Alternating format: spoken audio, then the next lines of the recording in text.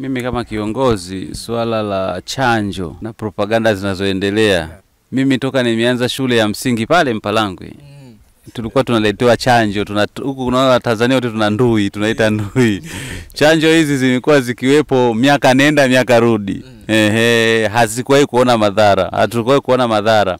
Kama kunatokea madhara ni minor case, ni kwa mtu mmoja mmoja sana katika wengi. Sasa the same chanjo ya korona ni yale yale hivi toka wameanza kuchanjwa wenzetu sasa hivi si zaidi ya mwaka huko maulaya huko, si wameanza kuchanjwa, tunaambiwa kuna madhara. Sasa tusiangalie propaganda, wewe iangalie afya yako na halmashauri ya akili yako ya kichwa chako, utajiongeza. Unataka kuchanjwa kwa sababu kuna polio, kuna magonjwa tofauti mengi kabisa kabisa yamekuja. Sasa wewe wewe wewe we, we, discuss peke yako. Kikwete, Mheshimiwa Rais Kikwete mstaafu alisema akili ya kuambiwa changanya na za kwako. Mheshimiwa Rais kachanjwa. Nimeona viongozi wa Chama cha Mapinduzi ngazi ya taifa wamechanjwa. Sasa wewe ni nani ambao unahisi kuna madhara kwamba wewe ndio una maisha mazuri sana utaki kufa kwenye dunia hii? Wewe mwenzangu, tunaenda kushindana kuchuma mbaazi e, shambani kula mboga. Kuna watu wanakula mayai E, wanakula mayai, wanakula samaki, wanaku, yani vile vyakula bora, wana maziwa nini nini, kila kitu wako full,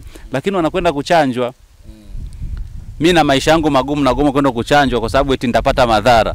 Mimi ni washauri na ni- nitoe tu uh, angalizo kwamba inapokuja chanjo kwa ajili ya ugonjwa huu, tuangalie wenzetu wa mataifa walioanza kuchanjwa wamepata madhara gani, alafu usiangalie madhara ya makoa anakuambia hii ina madhara. Kweni wewe una akili ya kufikiria mpaka makoa akwambie? Mm. Unajichanganya tu. Rais Samia kachanjwa, viongozi wakubwa wamechanjwa, mawaziri nimeona wamechanjwa, hata sisi tutachanjwa.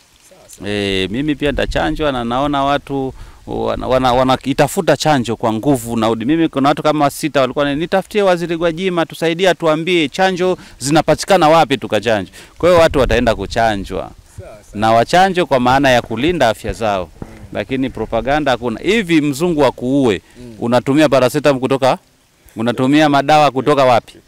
Wewe si mpaka vyakula vinatoka Ulaya. Ukisikia wale ambao wana maambukizi ya ukimwi unasema zoezi hili limefanywa kwa msaada wa watu wa Marekani. Sasa akitaka kukuua si anakuulia huko huko. Kwa hiyo hizi propaganda ziendelee kuwa propaganda, lakini uhalisia kila mtu achanganye na za kwake.